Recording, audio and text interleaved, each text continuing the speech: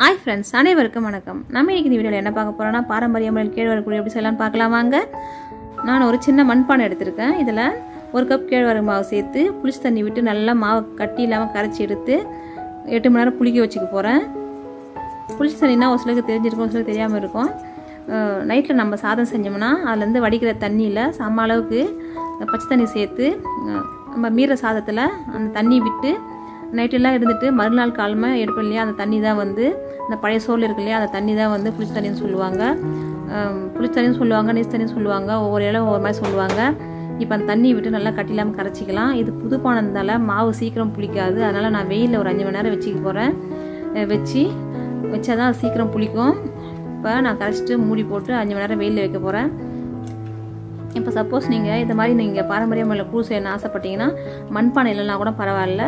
ஒரு ஸ்டீல் பாத்திரத்தில் கொஞ்சமாக மாவு போட்டு அதில் பச்சை தண்ணியோ இல்லை புளிச்சு தண்ணியோ இருந்தால் நல்லா மாவு தண்ணி ஊற்றி நல்லா மாவை நல்லா கரைச்சிட்டு அதில் மூடி போட்டு நீங்கள் ஒரு நாலு மணி நேரம் நாலு மணி நேரம் இல்லைனா அஞ்சு மணி நேரம் வச்சு நல்லா புளிக்க வச்சுக்கோங்க மாவை. நான் காலையிலங்காட்டி மாவு நல்லா புளிச்சு தண்ணி விட்டு நல்லா கரைச்சி எடுத்துட்டேன்.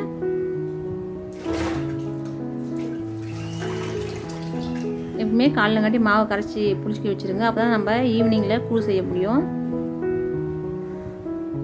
இப்போ நம்ம எட்டு மணி நேரம் பொறுத்து இந்த மாவு எப்படி புளிச்சிருக்குன்னு பார்க்கலாம்.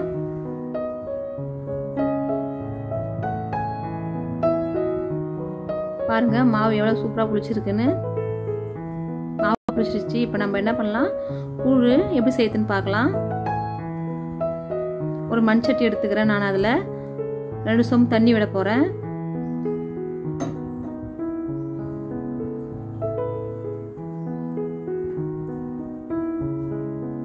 தண்ணி நல்லா சூடாடும் சூடான உடனே அரிசியோ இல்லை நொய்யோ சேர்த்து நம்ம நல்லா வேக வச்சுக்கலாம். நொய்னா குருணுன்னு சொல்லுவாங்களா அது. பச்சை அரிசி புழுங்கலரிசி இல்லை பச்சை அரிசி குருணை புழுங்கலரிசி குருணை எது வேணாலும் சேர்த்துக்கலாம். நான் இன்றைக்கி புழுங்கலரிசி எடுத்திருக்கேன். இதை இப்போ மூடி போட்டு நல்லா வேக வச்சிடலாம். தண்ணி நிறைய வைங்க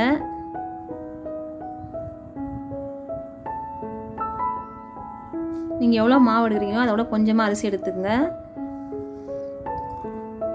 இப்போ நல்லா சோறு வெந்துருச்சு. இந்த அரிசி வந்து சோறு பதத்துக்கு வந்துருச்சு. இப்போ நம்ம இந்த மாவை நல்லா கரைச்சி கரைச்சிக்குங்க. கரைச்சி தான் நல்லா கலக்கி விடுங்க. நல்லா மாவை நல்லா கலக்கிட்டு. இப்போ இதனோட நம்ம சேர்த்துக்கலாம். சப்போஸ் நீங்கள் புதுசாக கூழ் செய்கிறவங்களா இருந்தால் ஃப்ளேமை சிம்மில் வச்சுட்டு இந்த மாவை கரைச்ச மாவை ஊற்றிக்குங்க ஊற்றி முடித்தோடனே கைவிடாமல் கை விடாமல் ரெண்டு நிமிஷம் நல்லா தொழவி விட்டுங்க இல்லைன்னா கட்டி பிடிக்க ஆரம்பிச்சிடும்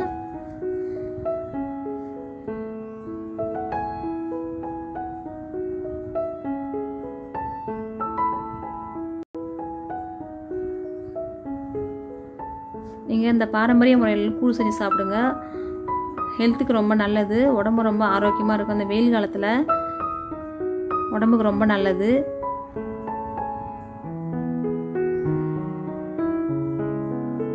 அது இல்லாமல் இந்த பாரம்பரிய முறையில் செய்கிற கூழ் வந்து உடம்புக்கு வந்து ரொம்ப குளிர்ச்சியை தரும்.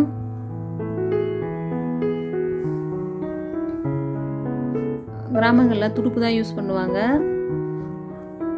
துடுப்புனா ஒரு மரக்கட்டையிலான ஒரு க மரக்கட்டையிலான ஒரு கரண்டி மாதிரி தான் இருக்கும். மரக்கட்டையில் கரண்டி இருக்குங்களா? அது மாதிரி தான் இருக்கும்.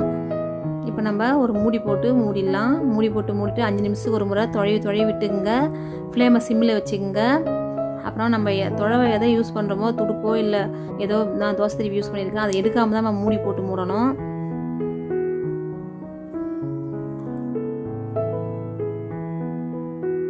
கூழ் நல்லா வேகணும். நீங்கள் ஃப்ளேமை சிம்மில் வச்சுக்கோங்க. ஹை ஃப்ளேமில் வச்சு வேக வைக்காதீங்க. கூழ் இப்போ வெந்துச்சு இல்லையான்னு பார்க்கலாம். நம்ம ஒரு சின்னதாக ஒரு கிணத்துல தண்ணி எடுத்துக்கின்னு நல்லா தண்ணியில் கையை நல்லா டிப் பண்ணிவிட்டு நம்ம கூழ் மேலே வச்சோம்னா கூழ் வந்து கையில் ஒட்டக்கூடாது. அதுதான் கரெக்டான பதம். அப்போ தான் கூழ் வந்துச்சுன்னு அர்த்தம். சப்போஸ் கூழ் கையில் ஒட்டுச்சுன்னா வேகல்னு அர்த்தம்.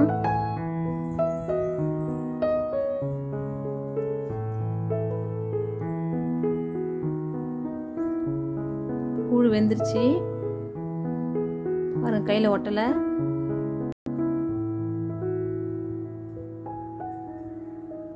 இப்போ நம்ம நல்லா தோசை கூழெலாம் க்ளீன் பண்ணிவிட்டு கூழ் செஞ்சாலும் சட்டி ஓரெல்லாம் கூழாக இருக்கும். அதெல்லாம் நல்லா க்ளீன் பண்ணிவிட்டு ஒரு தட்டை போட்டு மூடி வச்சிடலாம். இப்போ இது சுட சுட இருக்கும் கூழ். அப்படியே எடுத்து கரைச்சி குடிச்சிடாதீங்க நல்லா இருக்காது.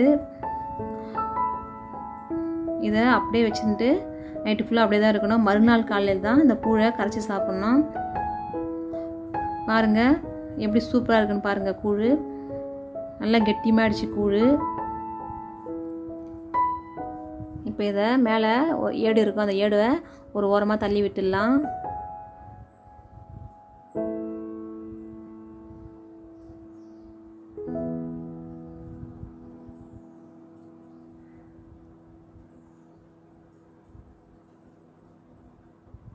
இன்னொரு மண் சட்டியில் கொஞ்சமாக கூழ் எடுத்து போட்டுக்கலாம். நமக்கு எவ்வளோ கூழ் தேவையோ அவ்வளோ கூழ் எடுத்து போட்டு கரைச்சி சாப்பிட்டுக்கலாம்.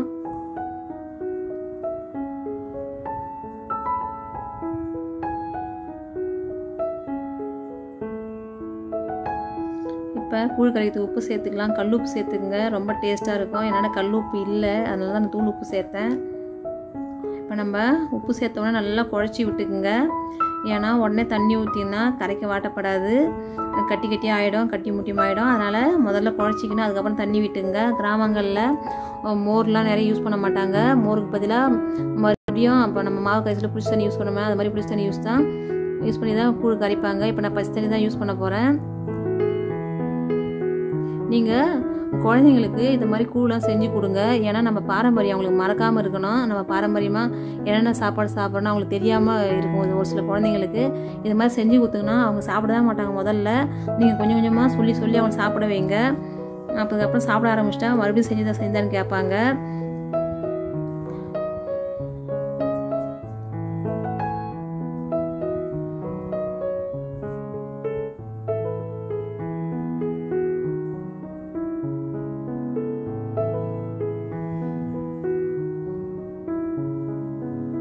ஒரு மீடியம் பார்த்து கரைச்சிங்க கட்டி ரொம்ப கட்டியாகவும் கரைக்காதீங்க. ரொம்ப தண்ணியாகவும் கரைக்காதீங்க.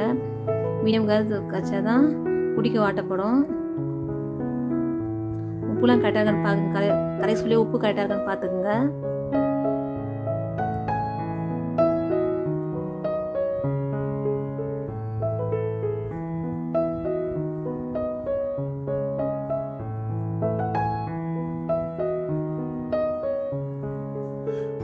அந்த கூழை ஒரு குட்டி மண் சட்டியில் கொஞ்சமாக ட்ரான்ஸ்ஃபர் பண்ணுறேன் ஏன்னா ஒரு சிலருக்கு தயிர் பிடிக்கும் ஒரு சிலருக்கு மோர் பிடிக்கும் ஒரு சிலருக்கு தயிர் மோர் எதுவுமே பிடிக்காது. பிடிக்காதவங்க அப்படியே குடிப்பாங்க. இப்போ நான் இதில் கொஞ்சமாக தயிர் விட்டு கரைச்சி காமிக்கிறேன். தயிர் எப்படி மோர் எப்படி போட்டு கரைக்கிறேன்னு. நல்லா கூழை கரைச்சிட்டு அதுக்கப்புறம் தான் மோரோ இல்லை தயிரோ போட்டு கரைக்கணும். உங்களுக்கு எவ்வளோ தயிரோ மோரோ வேணுமோ அவ்வளோன்னு கரைச்சி எடுத்துக்கோங்க.